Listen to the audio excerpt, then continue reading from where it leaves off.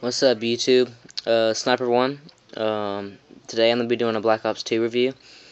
Um, today I'm just be doing some facts, some facts I have about it, and um, some of my own thoughts about the game itself and what I've seen of the gameplays and information. But um, the things I've heard about it is um, see like Black Ops One was originally supposed to take place during like I feel you back into had Vietnam, Vietnam and stuff like that, like Cold War and stuff like that. It was going like kind of taking an order from after World War II to like during the 1970s, you know, like 80s, early 80s. But um, the new Black Ops 2 is supposed to take place in 2025. So it's gonna be a futuristic game, of course, obviously, but the um the guns and stuff is what up from what I've seen is pretty sweet.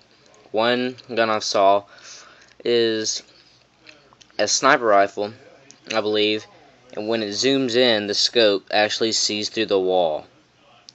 So basically to me that seems pretty cool because you can shoot through any type of wall from what I've seen but if you don't like campers that's a perfect gun. Anyways um you get what I've obviously heard which I, I know some people don't like it obviously. You're gonna expect that but you're gonna be fighting robots.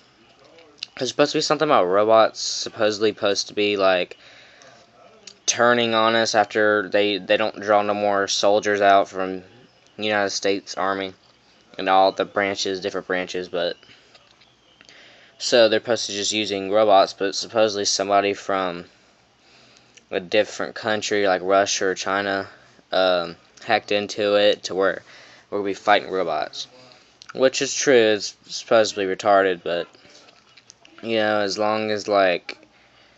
It, is supposed to be to me just like I like it better when you just fight regular people, but to me, if I was on like the robot side, if in versus multiplayer, yeah, that'd be pretty sweet. But you know, people have their different you know opinions about it.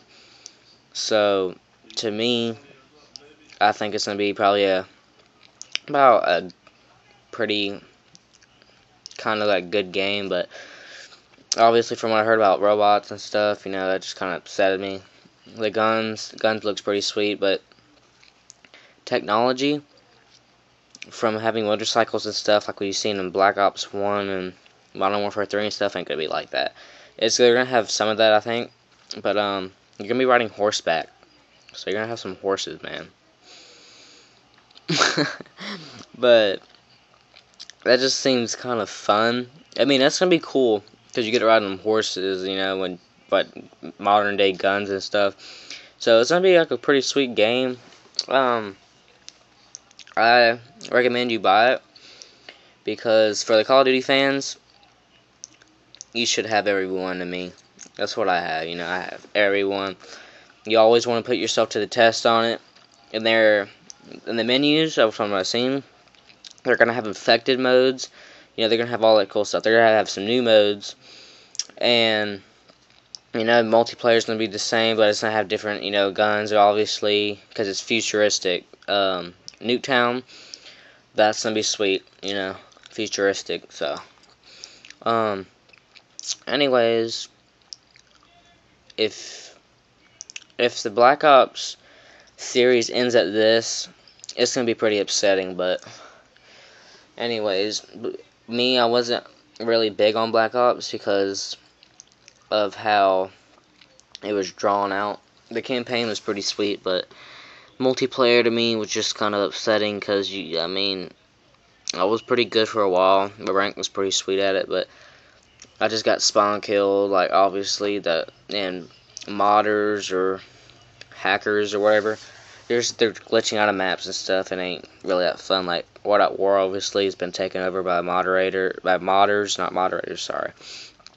And um for you don't for people who don't know what a modder is, it's basically people who do stuff to the game that you can't do normally. So you can get out maps and stuff, float around, get unlimited ammo and stuff like that. But anyways, me, I personally think they should come out. They should grow the series of Modern Warfare because it's such a big Call of Duty is such a big fran franchise.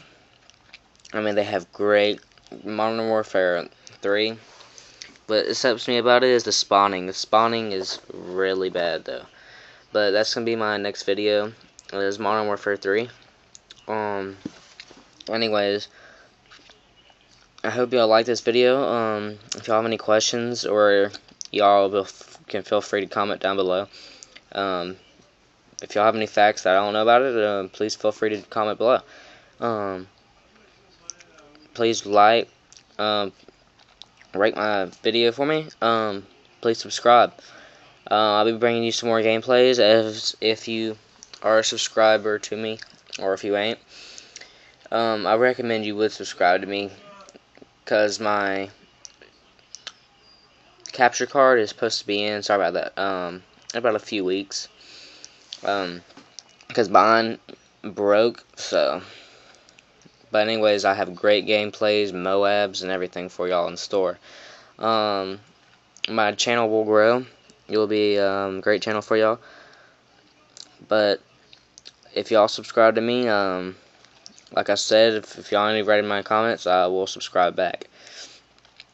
But um, appreciate all the viewers. Um, appreciate the subscribers. Um, but I hope y'all like this video, and I hope y'all like my other videos. Please check out my Modern Warfare 3 videos. Um, and my Gears of War video. I'm sorry about that, guys. That was a pretty upsetting video. Because my capture card was obviously unedited very well because it was messing up and it broke.